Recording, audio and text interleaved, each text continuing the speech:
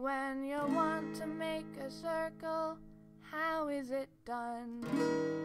Well, you probably will start with the radius 1. Then use a compass or a string, and use a paper or the ground.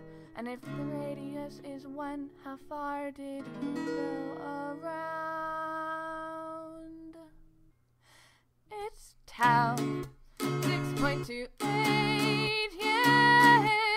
it's tau 6.28, 3, 1, 8, 5, 3, 7, 1, 7, 9, 5, 8. If you pick a certain distance and you pick a certain spot and you put the two together, then what have you got? It makes a very special shape, and now you are the inventor. If you take all of the points at certain distance from your center, and you've got a great collection, and it is a great invention, and it makes a lovely circle. Well, depending on dimension, cause it's one, two, three.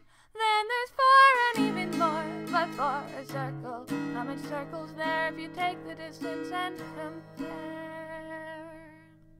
It's tau,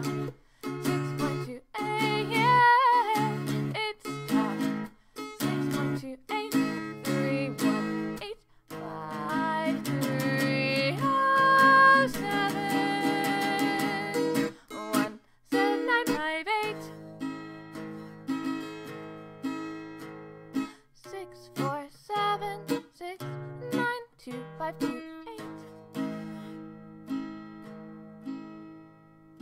I know what you are thinking. What about that other guy? The one that's sometimes pronounced P and it's sometimes pronounced pi. I mean, it's fine if you are building, but does not belong in math. All the equations make more sense when you use tau, you use tap, and while you get the same answers, no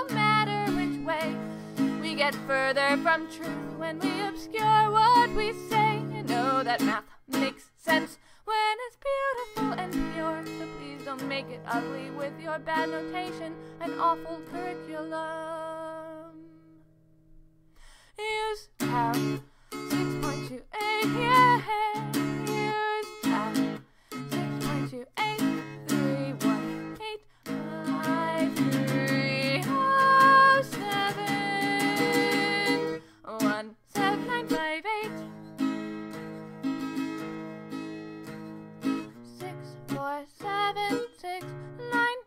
2, 5, 2, 8.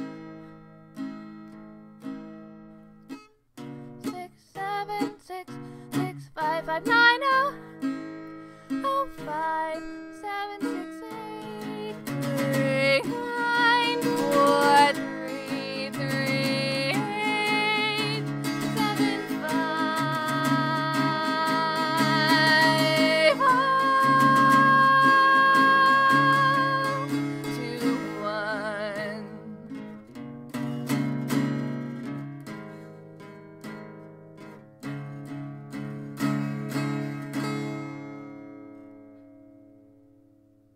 One,